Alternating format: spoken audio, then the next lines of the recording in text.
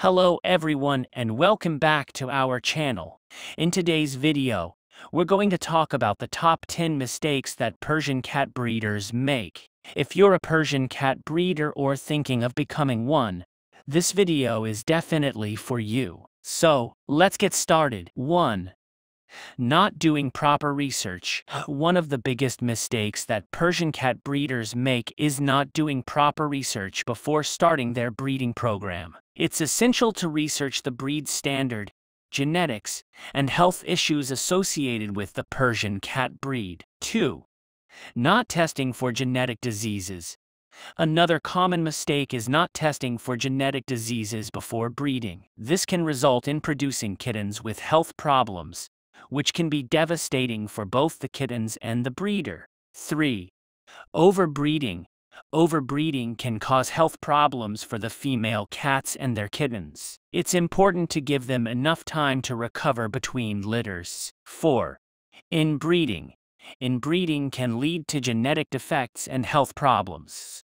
Persian cat breeders should avoid inbreeding and strive to maintain genetic diversity within their breeding program. 5. Not socializing kittens. Persian cats are known for their sweet and affectionate personalities, but kittens that aren't socialized properly can become fearful and aggressive. It's essential to socialize kittens from a young age. 6. Not providing proper nutrition. Persian cats have specific nutritional needs, and it's important to provide them with a balanced and high-quality diet. 7. Not keeping a clean environment. Persian cats are known for their long and luxurious coats, which require regular grooming. Breeders should also keep a clean environment to prevent the spread of diseases. 8. Ignoring warning signs. It's important for breeders to pay attention to warning signs of health problems in their cats and kittens. Ignoring these signs can lead to serious health issues. 9. Selling kittens too young.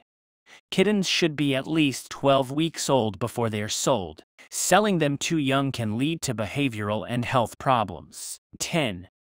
Not being transparent. Breeders should be transparent about their breeding practices, genetic testing, and the health of their cats and kittens. Being transparent builds trust with potential buyers and helps to ensure that the kittens go to loving homes. That's it for today's video on the top 10 mistakes that Persian cat breeders make. We hope you found this information helpful. If you have any questions or comments, please leave them down below. Don't forget to like and subscribe for more videos like this one. Thanks for watching.